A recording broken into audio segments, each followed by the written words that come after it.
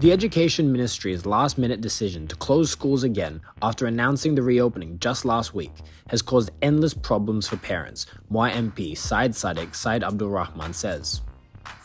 Under the new ruling, all primary and secondary school students will have to follow online classes from January 20th, while only those taking public examinations will return to school. However, all kindergartens registered with the ministry are allowed to continue holding classes. The former Youth and Sports Minister questioned the timing of the announcement, made on a Saturday evening, as it was bound to impact many parents who had already made preparations for the reopening on January 20th. I'm not sure why the Education Ministry made another last minute decision like this, he said in a Facebook post yesterday. Parents have bought school supplies, uniforms, equipment, and paid school fees, among other things, he said, adding that some parents had even sent their children to hostels. He urged the ministry not to use the COVID 19 crisis as an excuse for its failure to do proper planning and come up with last minute decisions which inconvenienced many.